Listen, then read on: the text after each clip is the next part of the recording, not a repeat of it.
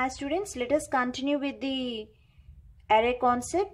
So in the previous video I explained about the different types of arrays means representation of arrays that is in the one dimensional and the two dimensional.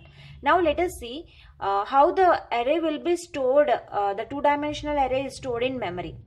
There are two ways to store two dimensional arrays in memory that is the column major order and the row major order.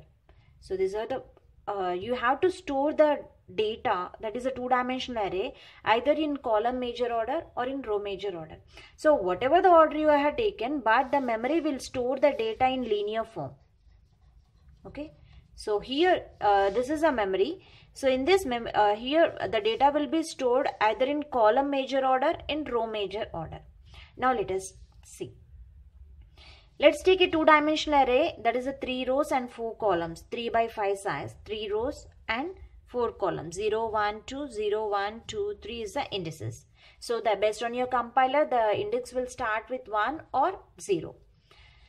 So if you take the row major order, if you want to store the data in row major order, the elements are stored in memory row by row. So this array will stored in memory if you in row major order if you consider the row major order the elements are stored in memory row by row what it means so the first row a1 a12 a13 a14 okay?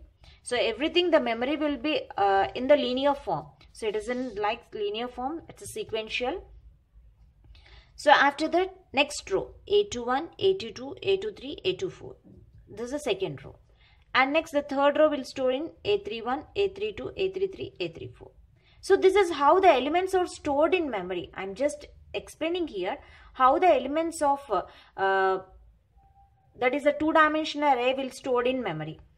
So the first this if you take the row major order the it will stored in row by row. First row, second row, third row. If you take the column major order, so what's the difference there?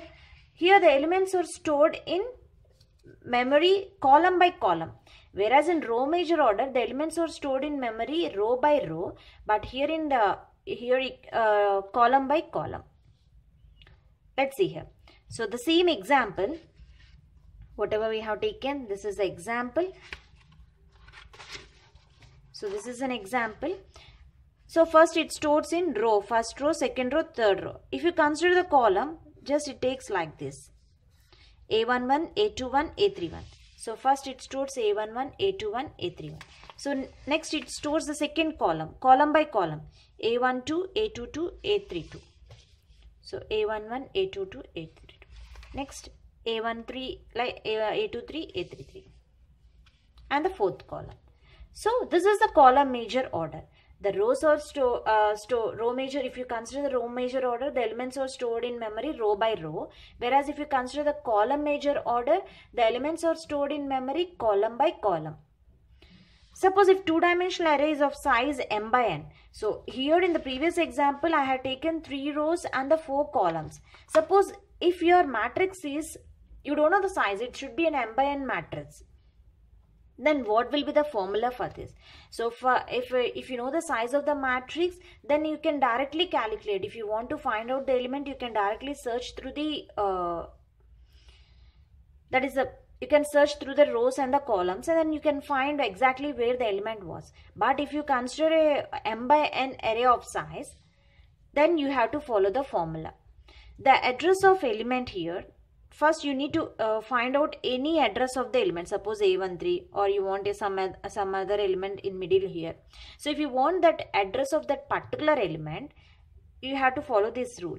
First row and first column of a the first row and the first column of a that is a11 is called the base address base of a. So this you call it as let us take this is l0 okay? So the first row and the first column of a is a base address if you want to calculate the address of element first you need uh, first you have to know the base address. That is the first element address. Okay? So next uh, so this is a base address. So if you know the base address then this will be the formula for calculating the address of a particular element. So whatever the element that is the 0 and the kth column and the 0 and kth column, uh, the column if you follow the column major order, this will be the formula. And if you follow the row major order and this will be the formula. Base a is the starting address the first row and the first column. That is a zero row or zero column. Okay? That is l0 that is a base address.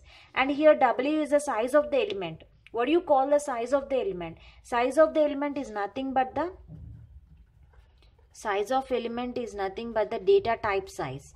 So whether you are using the uh, integer if integer it is 2 if it is a float it is 4 so that w represents the size of the element. And here m is the number of rows and n is the number of columns here they are taking k minus 1 and j minus 1 that is a particular element. That is the jth row and kth column. We are having one particular element that element. So here why i have taken k minus 1 and j minus 1 if the index or starts with suppose 0 1 2 1 2 3 like this 0 1 2 so if the index starts with 0 then it should be mk plus j. If the index starts with 1 okay if the index or starts with 1 then this will be the formula.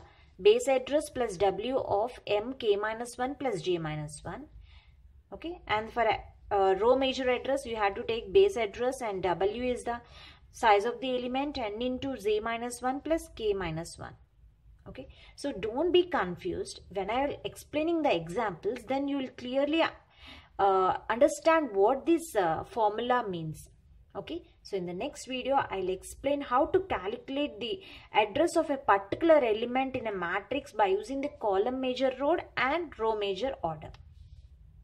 Thank you